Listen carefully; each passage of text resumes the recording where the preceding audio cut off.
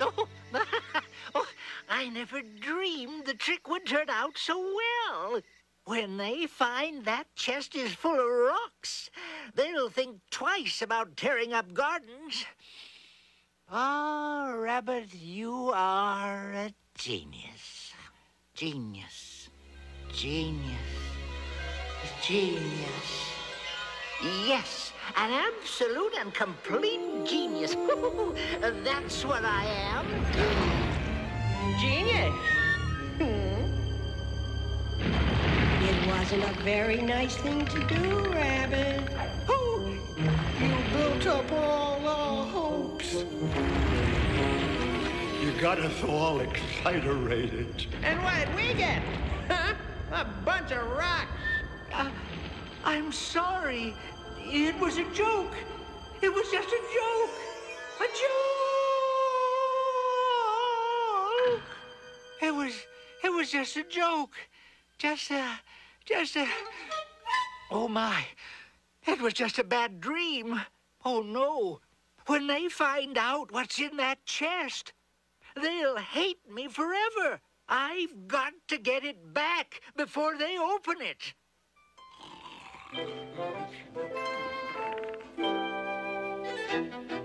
Now for the finishing touch. Hello in there.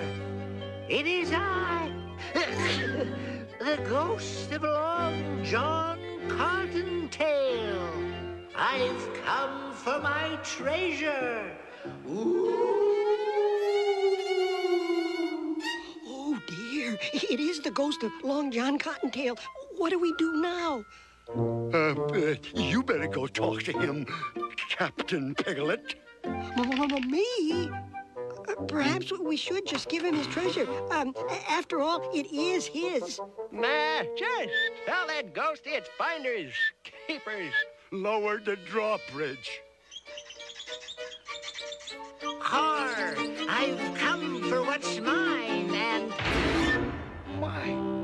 Goodness. He seems to have disappeared. Yeah. Ghosties do that, you know. Come on. We gotta open that treasure before Long John Boogly Bones comes back. Uh, why didn't I think of it before? We'll blast it open. Don't forget, we have to share it with Rabbit. share with me? If Rabbit hadn't shown us where to dig, we never would have found the treasure. Part of it is his. Oh, when they see those rocks, they'll never speak to me again. Oh, my. There's no way I can stay here, not with them not liking me. The only thing left for me to do is move away.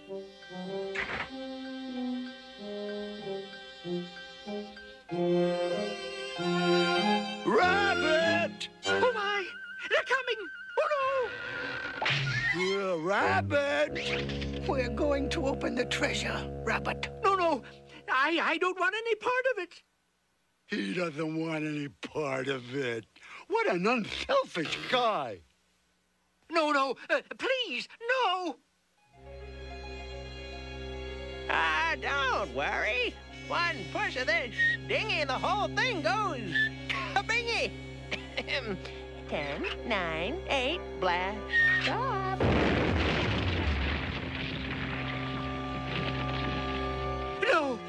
Don't look. It's uh, it's not the right chest. That Uncle uh,